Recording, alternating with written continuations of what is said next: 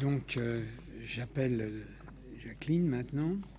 Euh, c'est difficile, je ne vous la présenterai pas. Je vous dirai simplement que sa réflexion sur la théorie esthétique, sur les théories esthétiques, est une de celles qui occupent une grande part de la théorie contemporaine de l'art, et que son intérêt pour la couleur en particulier a révélé des concepts et des avenues qui jusque-là étaient négligés. Et je me réjouis tout particulièrement que, euh, grâce à Daniel, cette euh, contribution soit la dernière, parce qu'elle nous entraîne euh, justement non pas dans la conception de l'œuvre de Winkelmann, mais dans tous les échos que cette œuvre va trouver à l'intérieur de la société du XIXe siècle. Merci, merci à Daniela de m'avoir invité, de m'avoir donné l'occasion, d'avoir forcé, de m'avoir donné l'occasion de travailler d'un peu plus près sur, euh, non pas sur Winkelmann, j'en ai pas la prétention, mais peut-être sur sa, ses échos, comme, comme vous disiez. Alors, juste un mot d'excuse, j'ai pas d'image à vous montrer. Hein euh, j'ai pas pu, voilà, bon, j'ai pas eu le temps de constituer un PowerPoint. J'espère que ça ne manquera pas trop. Euh, je commence par vous lire un texte. Il n'y a pas à s'y tromper. C'est de l'interprétation idéaliste et littéraire de la statuaire grecque que découlent les préjugés métaphysiques qui constituent en grande partie l'esthétique officielle. On ne s'est pas même donné la peine d'étudier l'ensemble des œuvres léguées par l'Antiquité. L'esprit de système s'est contenté de trois ou quatre statues qui paraissaient le mieux se prêter à la fantaisie platonicienne, et c'est là-dessus qu'on a échafaudé toute la théorie. Au siècle dernier, lorsque Winkelmann était investi de la dictature du goût public, les modèles éternels du beau immuable étaient l'Apollon du Belvédère, la Vénus Médicis, le groupe du Laocoon. Aujourd'hui, ils sont remplacés par la Vénus de Milo et par les marbres du Parthénon. Mais si les modèles ont changé, les règles sont restées les mêmes, également éternelles et infaillibles, et sous d'autres noms, c'est toujours Winkelmann et Platon qui régentent la critique. Ce texte est d'Eugène Véron, alors qui est Eugène Véron. Eugène Véron est un philosophe, critique d'art, auteur entre autres d'une esthétique publiée en 1878, qui, est tombée dans l'oubli aujourd'hui, mais qui a connu à l'époque un grand succès, parce que ça a été tout de suite, il y a eu plusieurs éditions, ça a été traduit dans plusieurs langues, etc. Euh, il est par ailleurs en France c'est un anti-métaphysicien, c'est un réaliste, c'est un moderne. Je veux dire, il se bat vraiment pour les modernes, enfin ce qu'il appelle lui les modernes. C'est un républicain forcené. Il a été exclu de l'enseignement parce qu'il a refusé de signer, euh, la reconnaissance de, Napoléon III. Euh, voilà, c'est un militant politique, hein, par ailleurs. Euh, et il est philosophiquement ou esthétiquement, il est ce qu'on pourrait dire le représentant en France de ce qu'on appelle l'esthétique scientifique, c'est-à-dire cette esthétique, venue d'Allemagne, hein, qui pénètre en France à peu près à, ce, à cette époque. Alors, j'attire votre attention, vous avez dû l'entendre, évidemment sur le caractère extrêmement violent de ce texte, mais tout verront est très violent. Hein.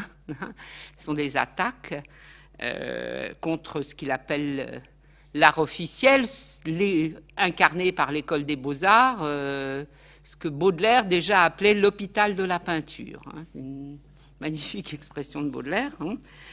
Euh, mais j'attire votre attention évidemment sur le lien Winkelmann-Platon. Hein. C'est Winkelmann et Platon qui régentent la critique, et Winkelmann-Platon sont les figures oni d'un idéalisme métaphysique euh, dont il importe de se débarrasser, dont il importe d'autant plus de se débarrasser que c'est lui, selon Véron, qui est enseigné euh, à l'école euh, des beaux-arts. donc on voit tout de suite le lien entre la question institutionnelle, c'est très français, enfin, la question institutionnelle, la question de l'enseignement, la question politique et républicaine. Hein. Euh, et en écoutant, j'ai malheureusement pas pu venir ce matin, mais en écoutant le communication c'est vrai que c'est intéressant parce qu'il est question toujours chez Winkelmann aussi de liberté, etc. Mais on n'a pas du tout la même conception de la. On n'entend pas la même chose sous le même nom. Hein. En tout cas, sous la plume de Véron, Winkelmann apparaît comme l'ultime représentant d'un point de vue idéaliste et métaphysique qui s'incarne dans l'enseignement diffusé à l'école des beaux-arts.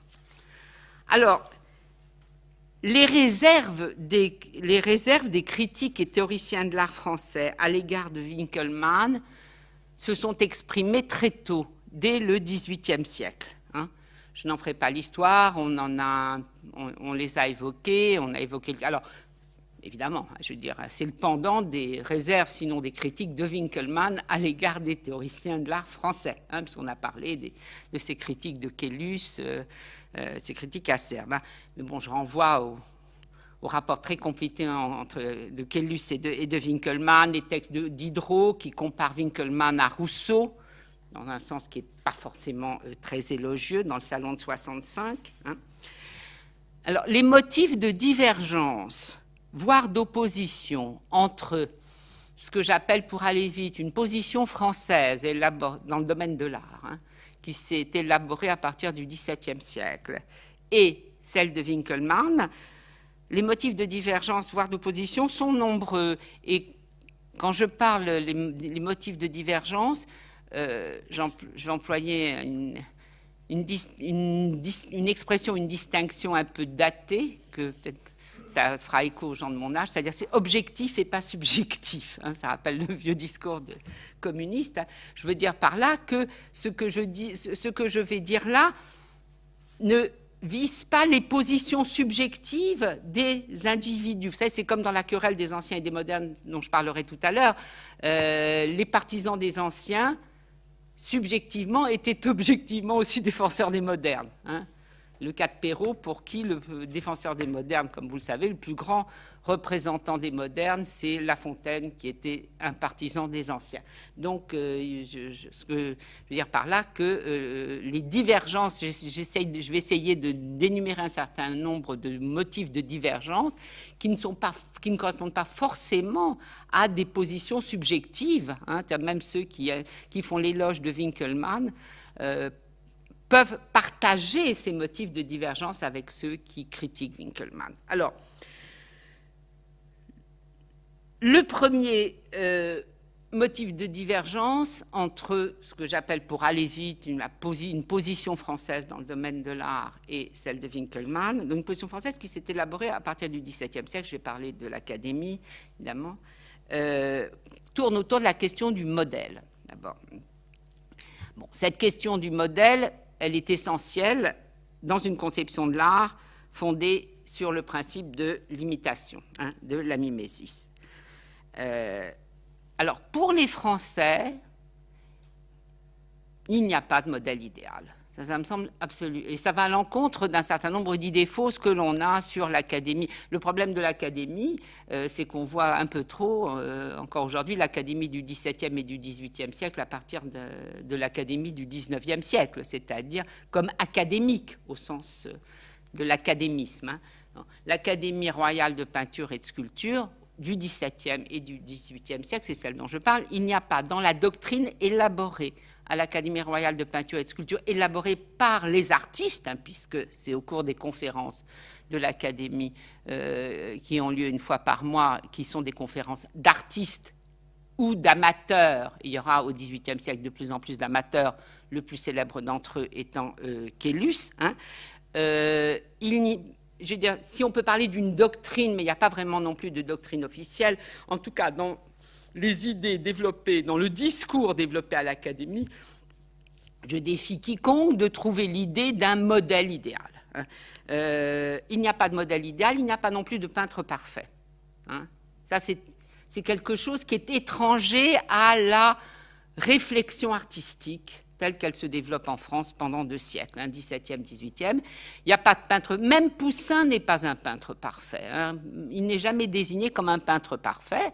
On peut être parfait en un certain genre, euh, dans la peinture de paysage, dans la peinture d'histoire, mais le peintre parfait qui réunirait toutes les perfections n'existe pas. Hein, n'existe pas, et d'ailleurs les imperfections sont souvent très importantes pédagogiquement pour former euh, les jeunes. Hein qui caricature un petit peu cette idée, celui qui caricature un peu cette idée, mais il y a aussi des idées polémiques, si vous connaissez sans doute, c'est la balance des peintres de Roger de Pile euh, à la fin de son cours de principe, euh, euh, où il note tous les peintres, hein, cette grande manie française de l'évaluation dont nous subissons encore les effets aujourd'hui. Euh, alors, il note les peintres en expression, en disposition, en coloris, euh, etc., selon toutes les parties de la peinture. Et on voit très bien que même Rubens, dont Roger de Pile est le champion, n'a pas 20 sur 20. Hein. Euh, la meilleure, Raphaël a une meilleure, si je me souviens bien, une meilleure moyenne générale que Rubens. Hein. Euh, et, pourtant, les critiques de Raphaël sont nombreuses chez Roger de Pile. Hein. Donc l'idée d'un peintre parfait n'existe pas, pas plus que n'existe ou pas plus que n'est reconnue l'idée d'un modèle idéal. Alors ça, c'est le premier point. Euh, si les, Français reconnaissent la nécessité notamment d'un point de vue pédagogique. Hein, c'est très important parce que l'Académie royale est un lieu de formation. si les Français reconnaissent la nécessité notamment d'un point de vue pédagogique, d'imiter l'antique, ils insistent également sur l'importance d'imiter le modèle naturel. Hmm. Alors cette question des deux modèles, hein, l'antique et le naturel, a même fait l'objet de ce qu'on appelait au XVIIe siècle une querelle, hein, une querelle à l'Académie, entre ceux que Testelin, qui rapporte un certain nombre de conférences, appelle les naturalistes, hein, c'est l'expression qu'emploie Testelin, les naturalistes, hein. donc une querelle entre les naturalistes et les défenseurs de la grande manière. Alors cette querelle, elle avait été lancée, Milovan connaît mieux ce sujet que moi d'ailleurs, cette querelle avait été lancée par une intervention du Bernin, lors d'une visite à l'Académie le 13 septembre 1665, qui est rapportée par Chanteloup dans son journal de voyage du cavalier Bernin. Hein. Bernin avait reproché aux peintres français, je cite, d'avoir, je cite, une manière petite, triste et menue. Hein. Et il leur avait dit que pour acquérir la grande manière, il fallait commencer à dessiner d'après l'antique. Ah, c'est intéressant de penser que c'est Bernin qui leur dit non, non. Hein, vous avez une manière trop petite, naturaliste, etc. Il faut apprendre à dessiner d'après l'antique, ce qui veut dire, tout l'ensemble de conseils aussi très techniques, euh, euh, placer le crayon, le modèle de loin, etc. Mais je passe ça. Bon.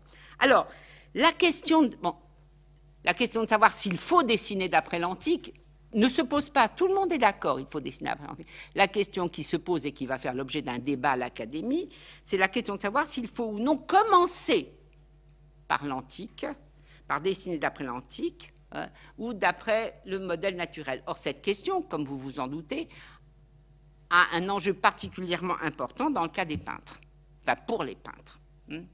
Pourquoi?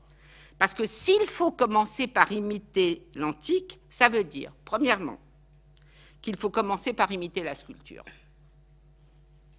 Ça veut dire que ça impose le modèle de la sculpture. Deuxièmement, ça veut dire qu'il faut commencer par le dessin. Hein puisque dessiner d'après l'antique, ça signifie dessiner d'après la, sculpture. Hein. Donc le privilège accordé au modèle antique implique la primauté à la fois à la sculpture, la primauté à la fois de la sculpture, et du dessin, ce qu'on retrouvera chez Winkelmann et qui sera reproché à Winkelmann par les Français, euh, qui vont privilégier la peinture et la couleur. Hein. Donc là, il y a une véritable logique comme ça qui s'instaure. Hein. Deuxième point de divergence. Alors, tous ces points de divergence, je les distingue, mais ils sont liés entre eux. Hein. je veux dire, c'est comme un fil qu'on tire. Voilà. Le deuxième point de divergence, qui se met en. Enfin, divergence même quand Winkelmann n'est pas encore apparu. C'est-à-dire, ce qui fait que les Français auront du mal à avaler ou à digérer Winkelmann et qu'ils réagiront assez vite contre Winkelmann, en tout cas au XIXe siècle. Le deuxième point de divergence, c'est le rapport à l'antique. mais qui est lié évidemment au point précédent, c'est le rapport à l'antique en général et au grec en particulier. Hein. Je laisse de côté, parce que ça m'entraînerait trop loin, le rapport au grec, mais il est intéressant. Les Français ont un rapport beaucoup plus important aux Romains qu'aux Grecs. Hein. Quand on lit, par exemple, au XVIIe siècle, Corneille, quand il fait une dédicace de la mort de Pompée, il parle de la France comme de la nouvelle Rome, pas la nouvelle Athènes. Hein, hein. la Grèce, c'est ce que, comment il s'appelle C'est Steiner, oui, c'est ça, l'auteur des Antigones disait que la Grèce était une invention de l'Allemagne. Hein. Il y a quelque chose qu'on voit se mettre en place très tôt. Euh, enfin, cette idée se met en place très tôt. En tout cas, donc ça, je laisse de côté. Euh, en tout cas, euh, les Français, à partir du XVIIe siècle surtout, pour les Français, l'Antiquité, et je vais vraiment vite, mais voilà, il est tard, hein, elle est un commencement et pas une origine.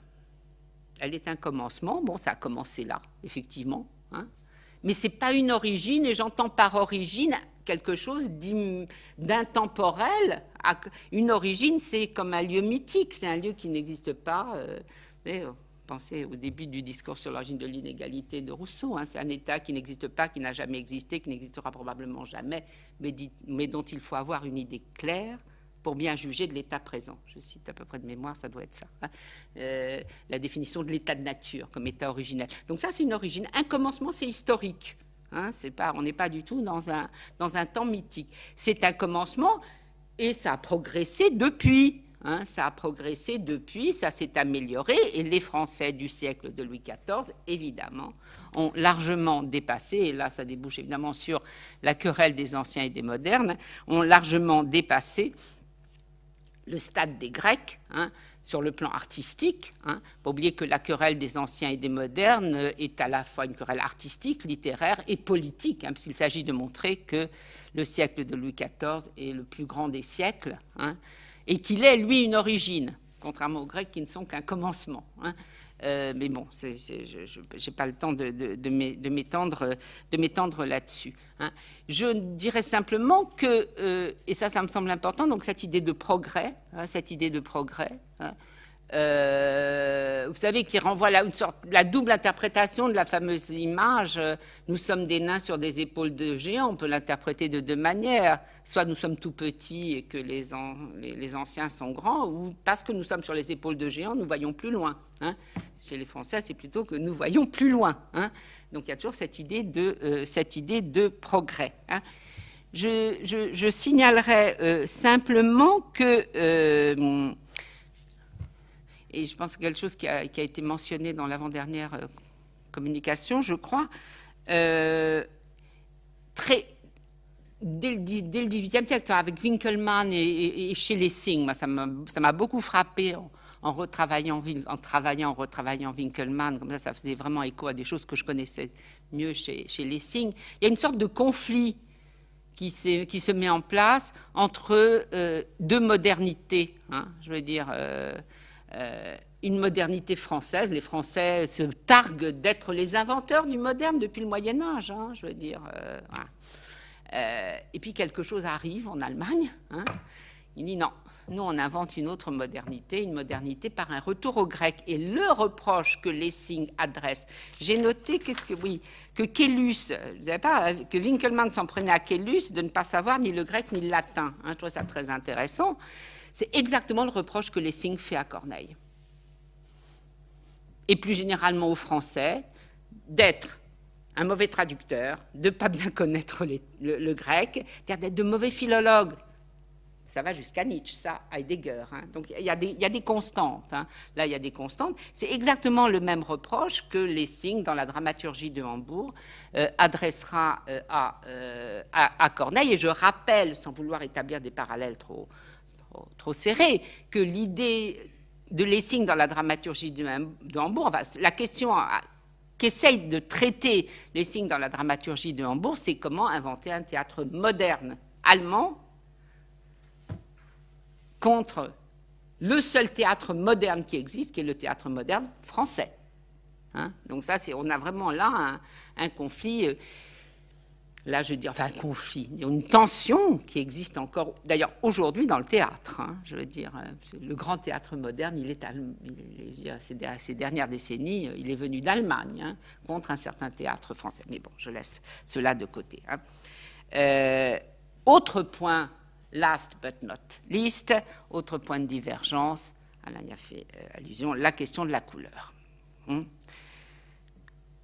Les Français sont coloristes la question, enfin la doctrine coloriste, elle triomphe en France après la querelle des saints coloris qui traverse toute la deuxième moitié du XVIIe siècle. Bon, je passe, à c'est les querelles de l'Académie. Hein.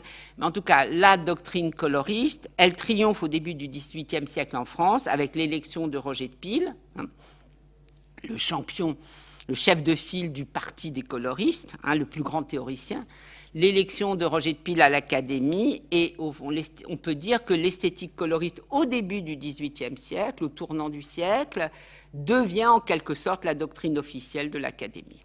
Hein, on est coloriste, correspond à la peinture de Watteau, etc. Bien.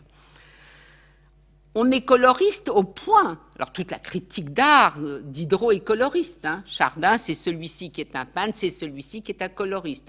Pour Diderot, c'est la même chose. Hein. Dire peintre et coloriste, c'est exactement la même chose. Hein. On est à ce point coloriste, euh, du point de vue de la doctrine, que quelqu'un comme Diderot a même une conception coloriste de la sculpture. Hein. Devant, euh, à propos du. C'est quoi C'est la sculpture, oui, ça, je regrette de ne pas avoir de PowerPoint, mais ce n'était pas tout à fait de ma faute. Euh, ce qui n'est pas une excuse. à propos de la sculpture, je crois que c'est le maréchal de Tourville de Houdon, il dit c'est pas de la sculpture, c'est de la peinture. Hein? Avoir une conception coloriste de la sculpture, ça veut dire avoir une conception picturale hein, euh, de euh, la sculpture. Donc, précisément parce qu'ils ont une esthétique coloriste, parce que c'est l'esthétique coloriste qui domine en France, hein, je dirais qu'elle va dominer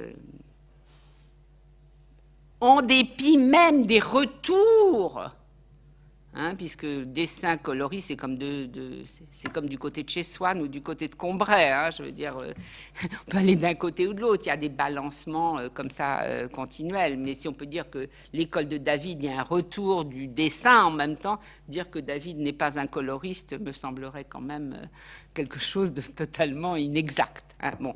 Mais en tout cas, ce qui me semble important, c'est que précisément parce que les Français, depuis le, tournant du siècle, sont coloristes, enfin dans le domaine de l'art, hein, bien sûr, l'esthétique dominante est une esthétique picturale et non pas sculpturale. Qu'est-ce que je veux dire par là? Je veux dire par là que c'est la peinture qui sert de paradigme à la définition de l'art, et non pas la sculpture. Hein. Là, si vous voulez, J'essaye de préparer le terrain pour montrer pourquoi c'était difficile d'accepter, ça pouvait être difficile d'accepter les idées de Winkelmann pour, disons, une certaine partie de, euh, par rapport à une certaine partie des, artistes français qui défendaient une conception de l'art. Hein.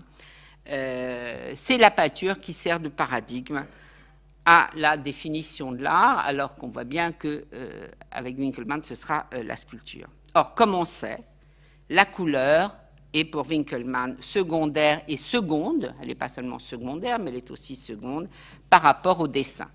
Je lis un petit passage. La couleur contribue à la beauté, mais elle n'est pas la beauté même.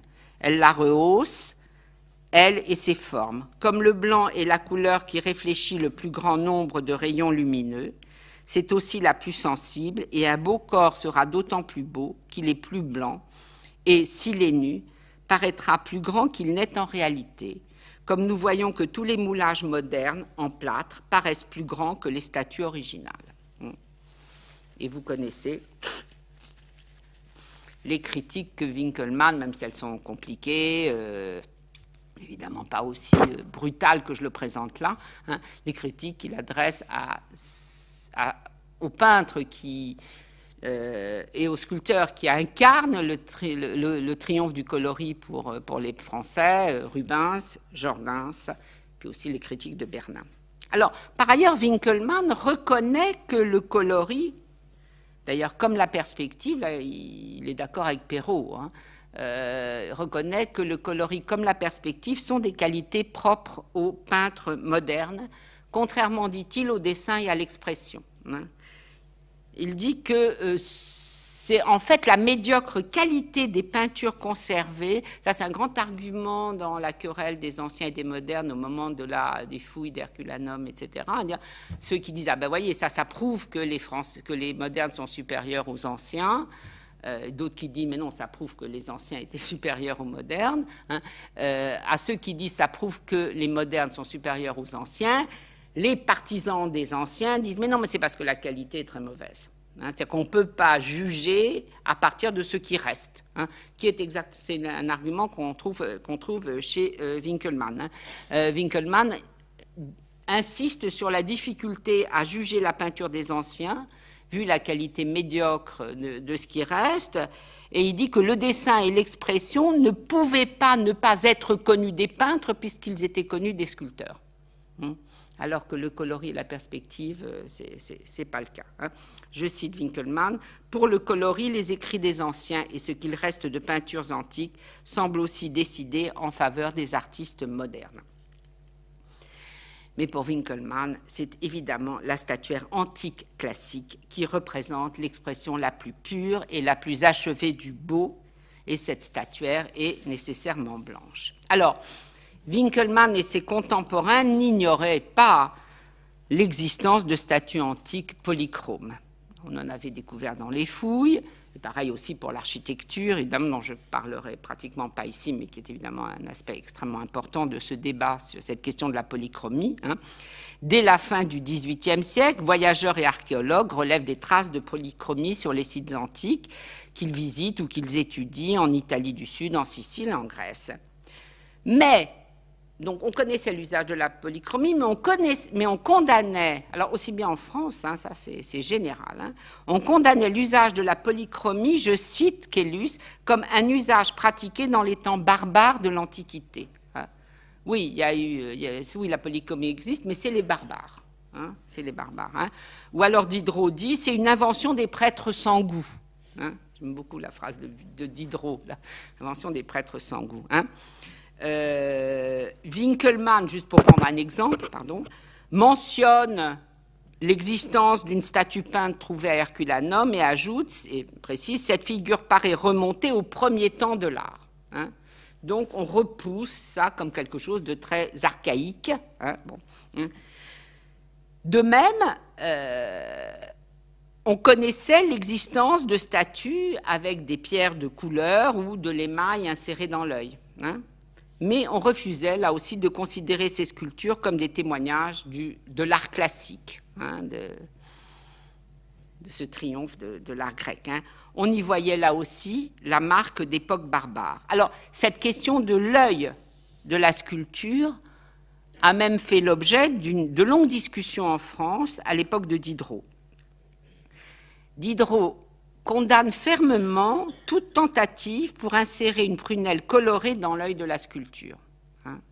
Il dit ah non non non ça c'est pas possible. Hein. Euh, il condamne cet usage en se référant au modèle antique ou à ce qu'il croit être le modèle antique. Hein. Je, je, cite Diderot, Salon de 65. Creusez l'orbite des yeux à une statue et remplissez-les d'un œil d'émail ou d'une pierre colorée et vous verrez si vous en supporterez l'effet. C'est intéressant, c'est-à-dire on peut supporter un, œil euh, grec, hein, c'est-à-dire avec une prunelle aveugle comme ça, mais avec une prunelle crevée avec une, pierre dedans, c'est l'horreur. Hein. Euh, on voit même par la plupart de leurs bustes qu'ils ont mieux aimé laisser le globe uni et solide que d'y tracer l'iris et que d'y montrer la prunelle ils ont mieux aimé laisser imaginer un aveugle que de montrer un œil crevé. Hein, c'est magnifique. Hein. Ils ont mieux aimé laisser imaginer un aveugle que de, laisser montrer, que de montrer un œil crevé. Kellus pense exactement la même chose. Je cite Kellus dans le recueil d'antiquités anciennes, égyptienne, étrusque, grecque et romaine de 1752. La sculpture ne pouvant rien colorier, et la prunelle pour se faire sentir ayant nécessairement besoin de couleurs, Il ne faut pas que le sculpteur entreprenne de les marquer par des traits qu'elles n'ont pas. Alors, il y a trois arguments principaux contre l'usage de la couleur en sculpture. Hein. C'est intéressant que ça fasse débat comme ça euh, tout de suite. Et ce débat est lié à des découvertes hein, dans les fouilles. Hein. Le premier argument, c'est l'argument de ce que j'appellerais, d'un terme aristotélicien mais qui, est utilisé par Roger de c'est l'argument de la différence spécifique. Hmm. La couleur, ce que Roger de appelle le coloris, c'est la différence spécifique de la peinture. C'est ce qui fait que la peinture, c'est de la peinture et pas de la sculpture ou de l'architecture. Contrairement au dessin, dit euh, Roger de Pile, hein, qui est aristotélicien, hein, contrairement au dessin qui est commun à la sculpture et à la peinture. Hein. Le dessin, c'est le genre commun. le coloris, c'est la différence spécifique. Donc cette différence spécifique, donc, comme en France, on est obsédé, on est vraiment obsédé depuis le XVIIe siècle par la séparation des genres. Il faut que le théâtre ne soit pas le roman, que le roman ne soit pas ceci, ça. Hein. voilà. Hein. Euh, il faut que les genres. Dans le théâtre, c'est très, très frappant. Hein, quand Corneille dit non, non, j'ai éliminé. Euh, par exemple, que faut-il faire des stances? Alors, Corneille dit au début, j'ai mis des stances, mais après, je les élimine parce que c'est de la poésie, les stances. C'est pas du théâtre. Ou, voilà. Donc, ça, dans le théâtre, on voit très bien qu'il faut faut vraiment établir des frontières. Hein. En France, on est, je n'ose pas faire d'association, d'un coup j'ai une sorte d'association mentale avec l'idée de frontières, mais on laisse de côté. Euh, on veut établir des frontières entre les genres, et donc cette question de la différence spécifique entre la, peinture est extrêmement euh, importante. Le deuxième argument, que je trouve plus, enfin, plus intéressant en un sens, pas plus intéressant, plus compliqué, c'est l'argument de l'illusion. Hmm. C'est quoi cet argument de l'illusion? C'est au fond, parce, qu'on le retrouve chez Winkelmann, on le retrouve chez Quatremer, c'est au fond la nécessité de distinguer l'imitation artistique de l'illusion. Il ne faut pas que l'imitation artistique soit trompeuse. L'imitation n'est pas un mensonge, l'imitation artistique. Hein ça, c'est vraiment aussi quelque chose qu'on trouve très tôt dans les, écrits français. Hein. Euh, c'est une illusion qui n'en est pas une, c'est une fausse illusion à laquelle on ne croit pas, euh, etc. Donc, dans tous les textes, on insiste, on insiste là-dessus. Hein. Pourquoi? Parce que l'illusion, elle est mauvaise. Hein. L'illusion, c'est une tromperie. Alors que l'imitation ne prétend pas être l'imitation en art artistique ne prétend pas être une tromperie. C'est pour ça que l'imitation artistique n'est pas la ressemblance. La ressemblance peut être trompeuse, mais l'imitation artistique se distingue de la ressemblance.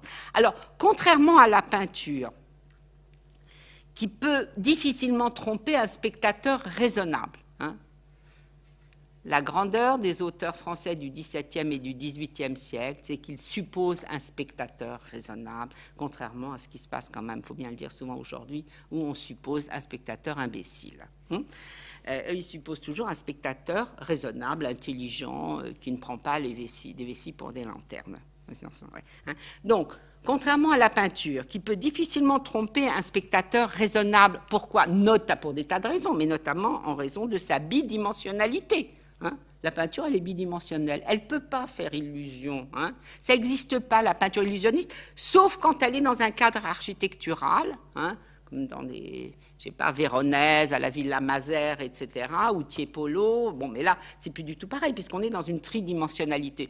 Mais sinon, ça n'existe pas. Et d'ailleurs, si vous regardez la littérature artistique que vous connaissez mieux que moi, euh, tous les récits d'illusions qui, abondent, hein, à propos de la peinture, c'est, euh, elle concerne, c'est, les animaux qui, qui sont trompés, hein, ou les paysans, ou des imbéciles, parce qu'on voilà, hein. Euh, des gens simples. Hein. Euh, mais un spectateur raisonnable ne prendra jamais. Il y a que Platon, il fait semblant. Hein. ça, c'est le, premier grand texte, c'est le texte de Platon dans le Sophiste sur le cordonnier, quand il dit un enfant qui voit de loin un tableau représentant un cordonnier, c'est l'histoire d'Appel et le cordonnier critique, qui voit de loin un tableau représentant un cordonnier euh, ou des chaussures, pourra croire qu'il s'agit de vraies chaussures et s'il reste immobile, et de loin, hein, pourra croire qu'il s'agit de vraies chaussures et prendre le peintre pour un cordonnier. C'est totalement fictif. Hein.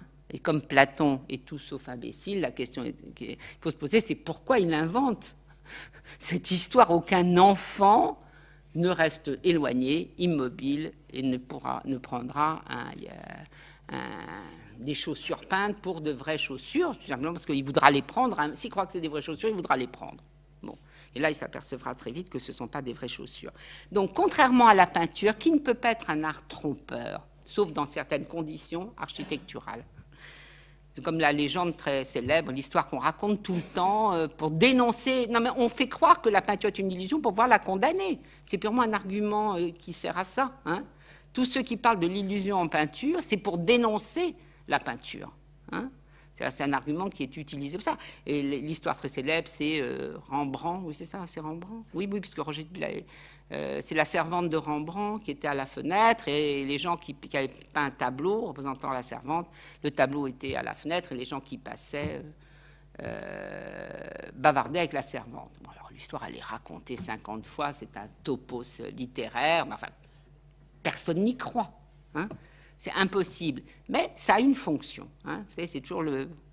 Dans les, dans les, anecdotes euh, artistiques, il faut toujours les interpréter en ayant en tête un train peut cacher l'autre.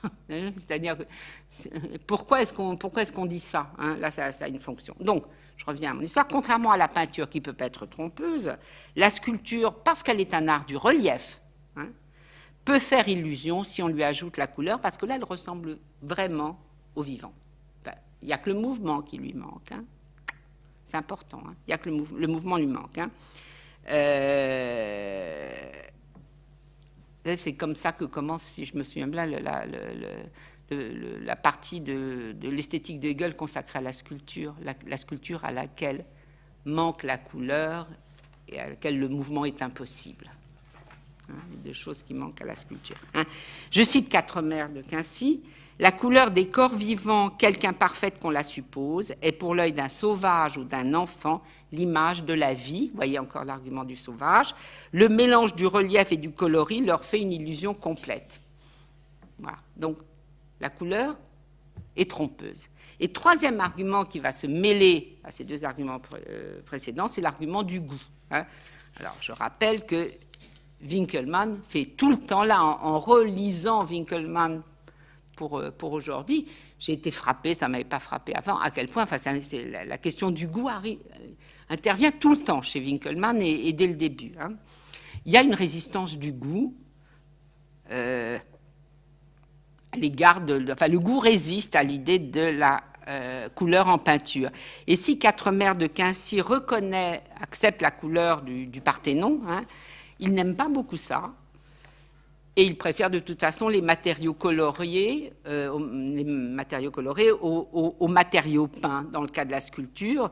Euh, et je dois dire que même aujourd'hui, cette, question de la résistance du goût est extrêmement intéressante, hein, parce que même aujourd'hui, je pense que si on faisait une enquête, euh, peut-être pas, mais on a du mal à accepter l'idée d'un Parthénon coloré. Voir les reconstitutions, c'est bizarre. Hein, quand on va au Getty, ça fait un drôle d'effet. Voilà, de voir ces reconstitutions. Et pareil pour les cathédrales peintes. Hein, ça, je veux dire, il y a quelque chose comme ça qui résiste à, ce goût qui s'est formé euh, dans, l'œil. Hein. Et, c'est vrai que les, images que j'ai vues de ces sculptures, de ces reconstitutions de sculptures colorées, là, comment ils s'appellent, enfin peu importe, fait penser à des choses incas, euh, sauvages. c'est très étrange. Alors, je, lis quatre mères. Les modernes, toutes les fois qu'ils ont aperçu, soit en réalité dans les monuments, soit en récit chez les écrivains, des traces de ce goût pour la polychromie, semblaient s'être accordés tantôt à les effacer comme injurieux au génie des anciens, tantôt à en dissimuler l'existence et presque toujours à en détourner les yeux. Hum, oui, tromperie, frayeur. Hein, alors, comme je le disais tout à l'heure, Quatre Mères insiste surtout, il va me dire si, je me trompe, insiste surtout sur la polychromie due aux matériaux colorés, c'est-à-dire la polychromie naturelle, plus que sur la polychromie artificielle, c'est-à-dire celle qui est due à la peinture, qui chercherait à produire une illusion complète. Alors, là aussi, je laisse de côté cette question de la sculpture polychrome qui sera l'objet d'intenses débats au XIXe siècle pour revenir à l'image winkelmannienne de la sculpture et à la manière dont on l'aperçoit, elle est discutée au XIXe siècle. Alors, si je résume, j'essaie de résumer un peu ce que, ce que je viens de dire. L'affirmation qu'il existe un modèle idéal, que ce modèle idéal s'incarne dans la sculpture antique, et donc que le beau idéal consiste essentiellement dans le dessin, s'accorde mal non seulement avec les principes et les règles de la théorie de l'art telle qu'elle se développe en France au XVIIe et au XVIIIe siècle, mais aussi avec la pratique des peintres et sculpteurs français.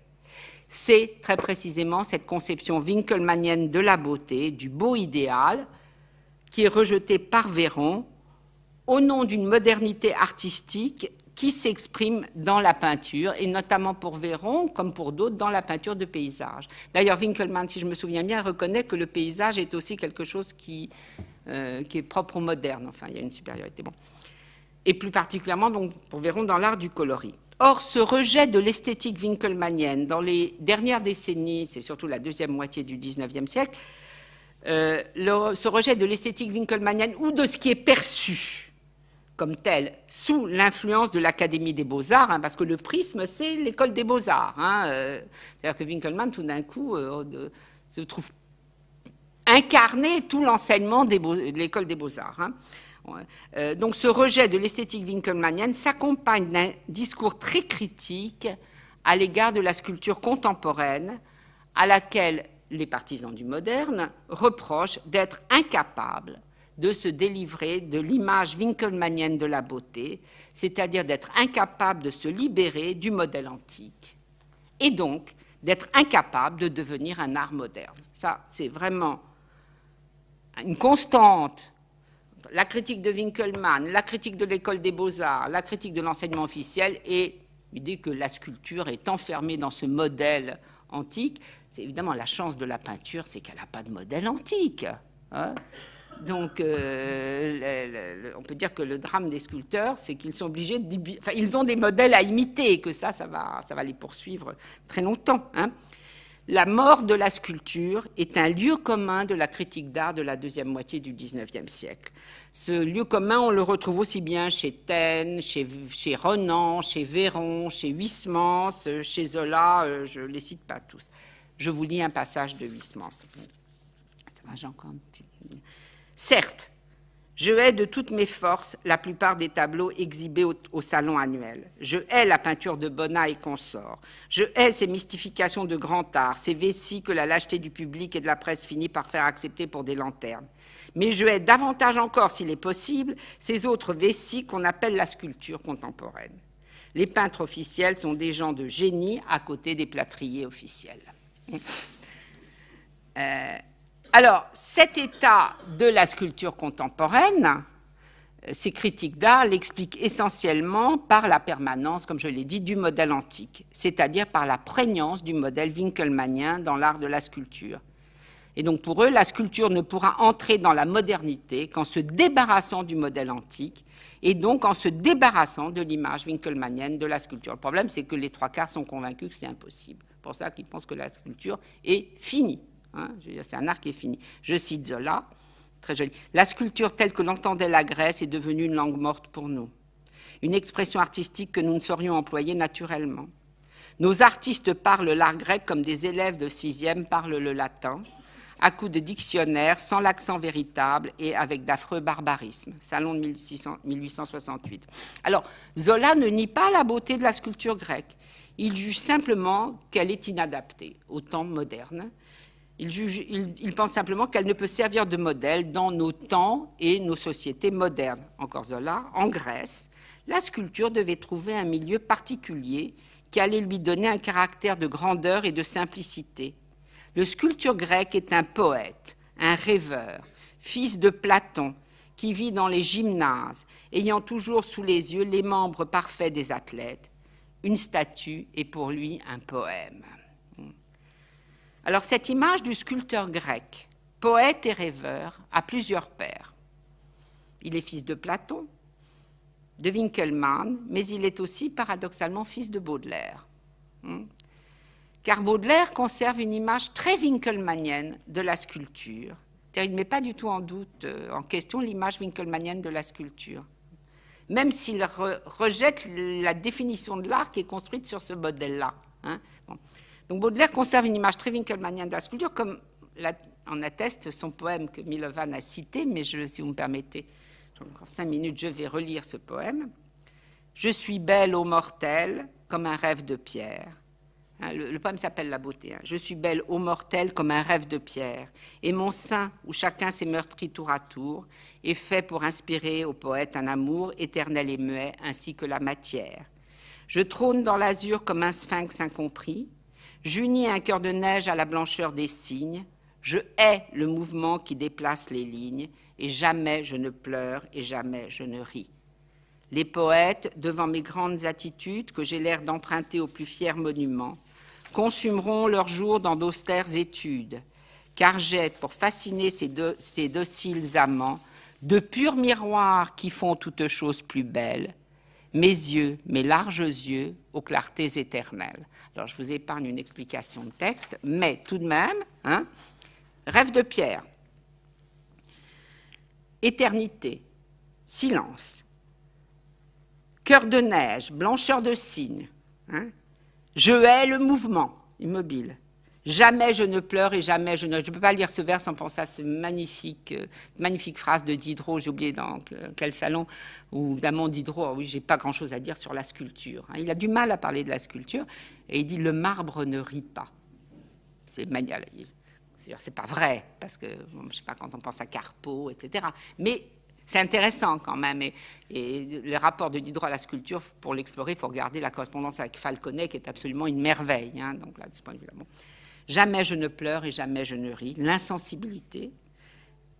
Les poètes devant mes grandes attitudes euh, que j'emprunte au plus fier monument. Et enfin, la fin.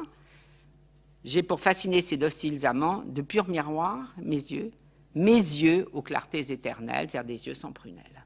Hmm. La beauté est une sculpture winkelmannienne, un confort, enfin je veux dire, qui s'accorde avec euh, le modèle euh, winkelmannien. À ces fantômes blancs, ce sera ma conclusion, à ces fantômes blancs et immobiles qu'on rencontre au coin d'une allée ou au détour d'un bosquet, si je reprends Baudelaire, ce que décrit Baudelaire, à ces fantômes blancs immobiles qui vous invitent à penser à l'éternité, s'opposent chez Baudelaire les figures en mouvement, violemment colorées et enchevêtrées des peintures de Delacroix. Du côté de la sculpture, la blancheur, l'éternité, l'immobilité, la poésie, la mélancolie, la ruine. Hein.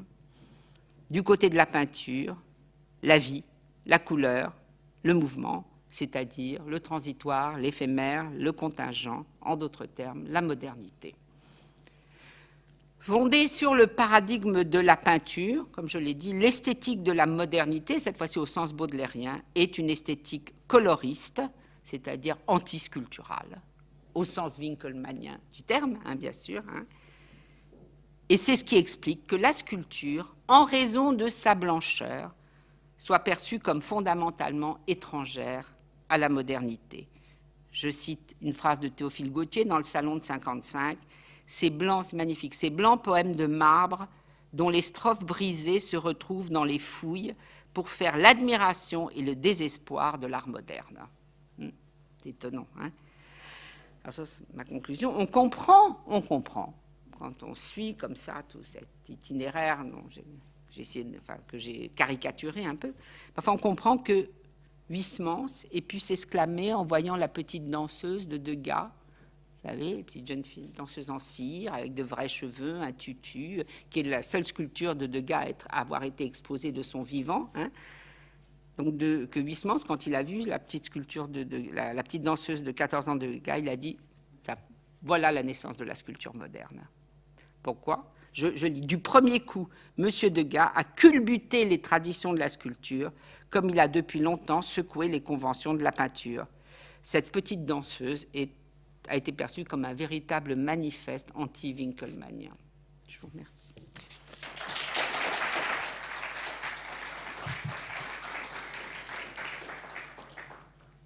Merci beaucoup, Jacqueline, pour ce, cette pérégrination dans les concepts de l'esthétique winkelmannienne et post-winkelmannienne.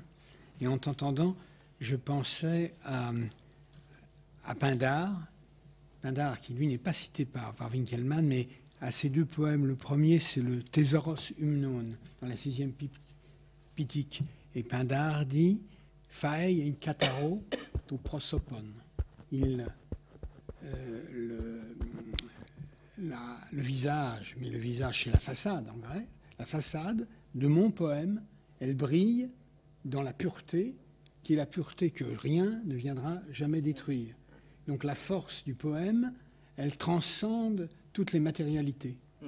Et dans un autre poème, il dit Je ne suis pas un, sculpteur, je ne, mes créations ne restent pas fixées au sol, mais elles volent d'une île à l'autre, d'un homme à l'autre, capable de l'entendre. Donc il y avait dans la poésie grecque, enfin Jesper Svenbreux dans son livre euh, fondamental La parole et le marbre, qui a attiré l'attention sur ce corpus qu'Avloc avait regardé avant, mais qui donne une, je veux dire, une base théorique antique à toute la réflexion que tu nous as proposée. L'archéologie encore plus loin. Voilà, c'est ça. Bien sûr. je trouve ça. Enfin, ah, je ne jamais rendu compte de cela avant d'entendre le développement que tu viens de nous présenter aujourd'hui, et je trouve que c'est à la fois provoquant et utile. Mais il y a probablement dans l'auditoire, si vous n'êtes pas épuisé par le passage de la journée, encore des questions ou des réflexions.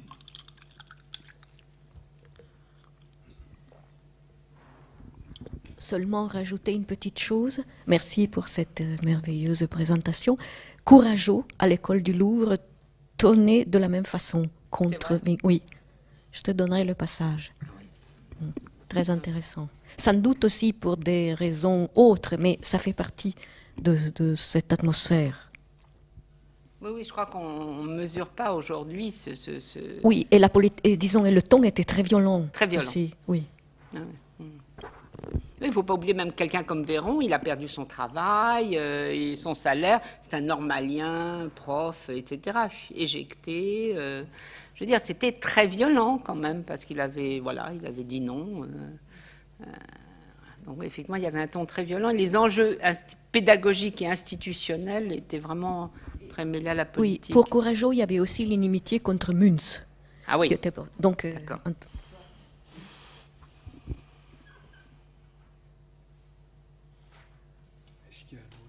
question je, peux juste, je ce qui, moi, ce qui me frappe de plus en plus, et encore une fois, en, relisant euh, Winkelmann comme ça, j'étais frappée, ça m'avait déjà frappé euh, en lisant, en travaillant sur les signes, j'avais plus travaillé sur les signes quand j'avais travaillé sur Corneille, c'est à quel point il y a vraiment plusieurs conceptions de la modernité qui peuvent s'affronter. Hein, euh, puisqu'il y a effectivement chez Winkelmann des porteurs d'une modernité qui va avoir une postérité extrêmement importante. Hein. Et là, je trouve que c'est quelque chose euh, qui me semble. Ça ne peut pas se penser en termes de moderne réactionnaire, conservateur, euh, etc. C'est-à-dire que nos catégories ne sont pas du tout assez fines ou adaptées pour penser ces deux conceptions républicaines de la liberté aussi de l'art, ces deux conceptions politiques euh, qui s'affrontent. Et ça, je trouve, c'est un point quand même qui, enfin, en tout cas, moi, je pense que, enfin, qui, pour moi, mériterait d'être euh, approfondi. Oui. Et alors, rajoute dans tes réflexions, en passant de l'ancien régime au monde, Stendhal, ne l'oublie pas. Bien Histoire de la peinture en Italie en particulier, extraordinaire. Tu retrouves plein de choses. Bien sûr.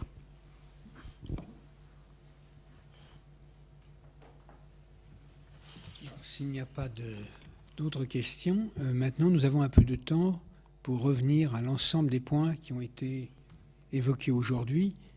Il me serait difficile de faire un résumé des, points d'hier et des points d'aujourd'hui, mais s'il y a des questions, je crois que euh, euh, Cécile, vous pourriez passer ici à la tribune, Daniela, et peut-être répondre à quelques questions de l'auditoire sur euh, ce qui leur a semblé de leur journée ou sur des points, il y en a forcément beaucoup, que nous aurions négligés, qui n'auraient pas été mis en valeur, soit dans l'œuvre de Winkelmann en, tant que tel, soit euh, dans sa réception. Parce que là, on est face à la question des gens, tels que Daniela l'avait mis au programme, et euh, vous avez vu qu'au fil du temps, les genres pouvaient devenir des styles et les styles pouvaient devenir des genres. Et ça apparaît très bien dans les euh, communications plutôt axées. Nous avons suivi un plan, je ne dirais pas chronologique, mais quand même qui partait de la substance de l'œuvre de Winkelmann pour déboucher sur sa réception. Et si Winkelmann est aussi intéressant, c'est évidemment du fait de l'extraordinaire écho que ces théories. Et je crois que ce que Jacqueline vient de nous montrer, c'est qu'il y a plusieurs euh, demeures, enfin il y a plusieurs chambres dans la demeure de Winkelmann, et que suivant qu'il est considéré comme un libérateur euh, par une partie de l'érudition française d'avant la Révolution ou de tout de suite après la Révolution, ou comme il est considéré comme un restaurateur, comme on l'a vu chez un certain nombre de théoriciens postérieurs, eh bien évidemment son rôle dans l'histoire et la lecture qui en sera faite va varier, comme varieront les éditions, les adjonctions critiques, parce que euh, entre les différentes étapes de son œuvre et jusqu'à euh, euh, l'édition, je dirais maintenant, normale ou colossale que de Borbein et de Kunz, quand on parle de Winkelmann, on n'est jamais tout à fait sûr d'être dans le bon support, dans la bonne édition, dans le bon commentaire. Et on en dispose maintenant, et c'est un, grand, un grand outil pour une réflexion distanciée qui passe par-dessus cette question des genres et des styles. Mais je pense que maintenant, euh, peut-être que Daniela peut nous faire part de ses réflexions. Oui, très peu, parce que je pense que euh, l'heure avance, et puis j'ai pas eu le temps de tout revoir. Mais ce qui m'a frappé pendant ces différentes interventions, c'est combien, en fait, il y a toujours beaucoup de Winkelmann, que tout dépend du point d'attaque, et que selon on se pose, on trouve des réponses, on ouvre de nouvelles portes, et que, au fond, il n'y a pas tellement d'écrivains, au moins de, si on peut l'appeler théoricien, même si c'est pas vraiment un théoricien, mais quelqu'un qui parle de l'art et surtout de l'art antique, qui se prête à tellement de réflexions. Et qu'un un écrivain si difficile aussi, parce que euh, surtout lorsqu'il essaye de faire de la synthèse, il, comment dire, il arrive déjà à un résultat et il cache un peu ses voies d'accès qu'il faut retrouver. Il me semble particulièrement difficile, particulièrement intéressant de ce point de vue-là. Et il me semble qu'il y a énormément d'ambiguïté, c'est ce que j'ai encore ressenti aujourd'hui, dans lui-même, dans ce qu'il a écrit. Et au fond, cette ambiguïté, on la ressent dans les réactions qu'il a suscitées. toute l'Europe l'a lu, au moins à partir d'un certain moment, chacun a pris ce qu'il voulait prendre. Et à chaque fois, il faut comprendre de quoi on parle. C'est-à-dire que dire Winkelmann ne veut rien dire, au fond. C'est ce qui m'a toujours euh, frappé. Et c'est la raison pour laquelle j'ai voulu, j'ai pu aussi, j'ai accepté ce travail d'édition. Revoir le chantier de l'intérieur, c'est ce qui m'a permis de comprendre. Tant qu'on le lit, je trouve que c'est extrêmement difficile. Je dirais encore seulement une autre chose, c'est que nous avions pensé de parler de matériaux et types, mais les réactions que nous avons eues de la part des amis qui nous ont suivis portent davantage sur les types. Au fond, il a été seulement une fois question de matérialité, hier après-midi, mais pas vraiment de matériaux. La question des matériaux, de ce qui l'intéresse, euh, le marbre plutôt que la terre cuite, ou bien nous les avons vus à travers le genre de l'art et pas tellement du fer. Peut-être que c'est encore un autre sujet qui n'est pas mûr pour la réflexion, qui nous intéresse moins. Je n'ai pas de considération à faire là-dessus. Cécile. Oui, oui c'est possible, effectivement, que on n'avait pas exactement la même idée du colloque au départ, mais comme c'est toujours le cas, et, je trouve que on a eu des, très beaux développements. Et moi, ce qui m'a aussi frappé, c'est euh, le lien euh, toujours réaffirmé euh, depuis hier après-midi avec les artistes depuis évidemment la, première intervention euh, qui, posait euh, l'histoire de l'art comme manuel pour les artistes, mais finalement, euh, à travers toutes les approches, que ce soit la position de Winkelmann par rapport au savoir artistique de son temps, au savoir artistique d'avant, et ensuite de la réception ou non de Winkelmann, etc. Et alors peut-être que ça en, continuant euh, dans cette euh, voie-là, peut-être que ça nous ramènerait finalement vers une certaine matérialité.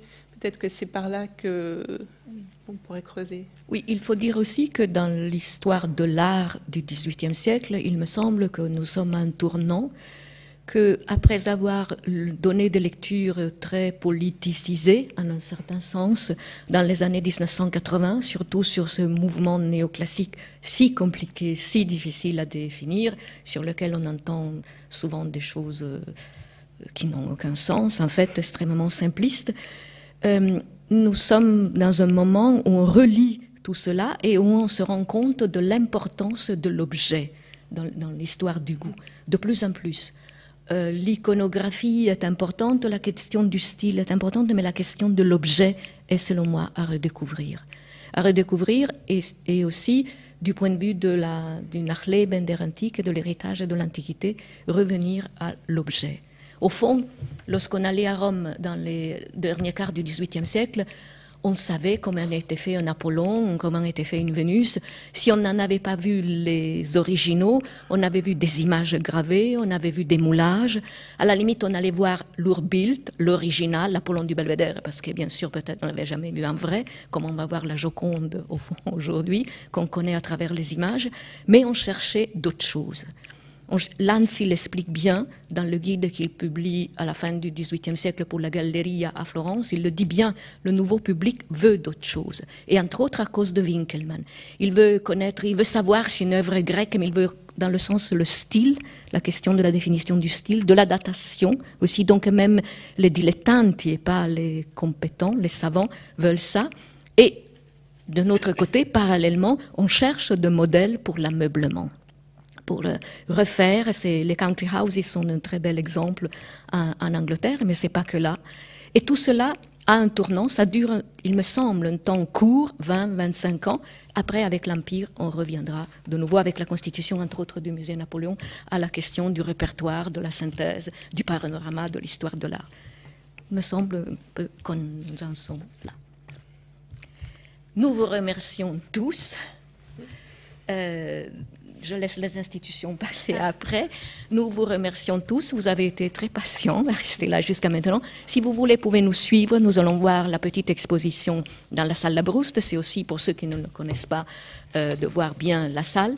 Euh, notre petite exposition euh, existe sur Internet. Vous pouvez la consulter. C'est là que vous pouvez lire nos notices sur ces livres on a, comment dire, en faisant ce travail, on s'est rendu compte que le fond de la bibliothèque de Lianacha est très particulier par rapport à Winkelmann. Il n'y a pas les éditions originales en allemand, par exemple, ce qu'on n'aurait absolument pas imaginé, mais ça dit beaucoup de choses, tout cela. Et en revanche, il y a surtout les, anciennes éditions euh, françaises et puis euh, d'autres études autour. Et disons que, au fond, le seul texte en allemand, si je me souviens bien, est une la publication de deux discours de Karl Morgenstern, qui était professeur dans une ville, d'une ville asiatique, très très très loin, et qui utilise Winkelmann comme modèle dans la distribution des concours de son université, des concours dans toutes les disciplines, médecine, sciences compris, comme homme. C'est-à-dire c'est l'homme Winkelmann, en ce début du XIXe siècle, le fils de Savetier, qui au fond a fait fortune. Voilà, c'est pour ça qu'on parle de Winkelmann. Et c'est le seul texte en allemand. J'ai l'impression, d'après le tampon qu'on trouve, peut-être une saisie napoléonienne, parce qu'il y a un tampon sec avec l'aigle de Napoléon, et après, c'est tout. C'est bizarre. Oui, et, la biographie de Justi. Oui, mais Justi, après, mais, après oui, oui, oui, oui, oui.